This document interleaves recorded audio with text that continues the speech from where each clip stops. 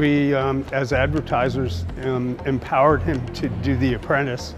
And The Apprentice is really a big, really helped make him. I mean, as Michael was pointing out, The Apprentice went from one disaster to the next to the next and just, it's like reality TV. And I think it taught him to be the way that he was. Obviously, we um, have learned, all of us, to consume media in ways that I think advertising has affected a lot. We consume it in little pieces really fast. Somebody was telling me this morning that she, you know, she reads Twitter for all of her news now. And of course, you know, we have learned ways to embed ourselves in there. And I think the little pieces of advertising mixed with content, mixed with news, um, we've, we've taught people to digest information that way. And of course, Trump has used that. Trump is the first guy to tweet as president, for better or worse. He obviously has made it something that people, I think, will, will always do, hopefully with more decorum than he does. TV is still a dominant medium, but it gets used through the internet. It gets cut up into pieces and thrown at us. It's different that way.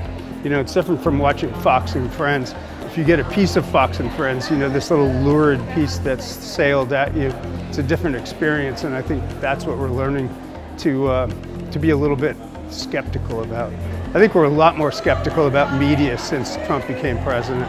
We don't believe stuff anymore. I mean, I, I think that actually hurts us as advertisers that, like, I, I basically believe I tell the truth for my clients, and I think he hurts that.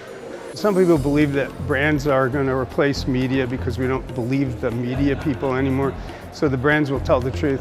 That sounds kind of like a shaky proposition.